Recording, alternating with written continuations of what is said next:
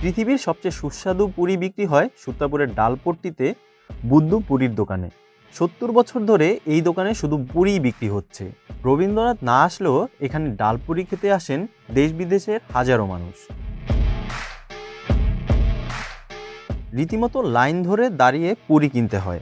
স্থানীয়দের কাছে বুদ্ধপুরীর ডাক নাম অনেক আগে থেকেই।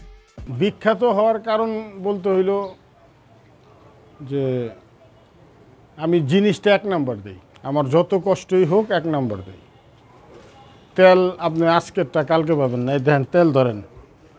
এই তেলটা আজকেরটা, কালকে পাবেন না। পিওর তেল। পিওর মুসুরির ডাল।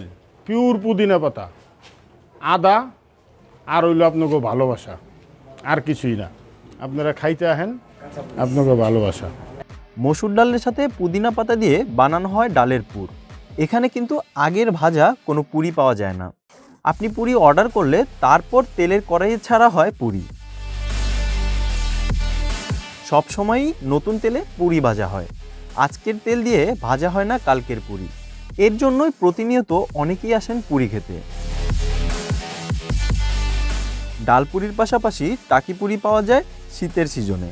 টাকি মাছের দাম অনুপাতে দাম নির্ধারিত হয় টাকি পুরি। কাস্টমারদের চাপ বেশি থাকায় পুরি তৈরির খামির বানানো হয় মেশিন দিয়ে। সকাল, সন্ধ্যা দুই বেলা এলাকার লোকজন ছাড়াও দূর থেকে আসা অনেকের পুরীর জন্য লাইন ধরতে হয় দোকানের সামনে।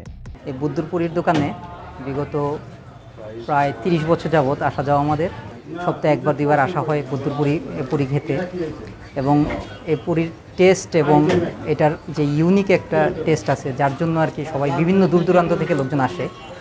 আরেকটা জিনিস অবাক করার মতো যেটা, সেটা হচ্ছে গিয়া আপনার এই পুরীটা কিন্তু সকালবেলাও হয়। যেটা মানুষ নাস্তার জন্য খায় নর্মালি কিন্তু পুরি মানুষ নাস্তার জন্য খায় না, কিন্তু বুদ্ধুর পুরিটা কিন্তু মানুষ নাস্তার জন্য নিয়ে খায়। এটা আমরা ছোটোকাল থেকেই খেয়ে আসছি।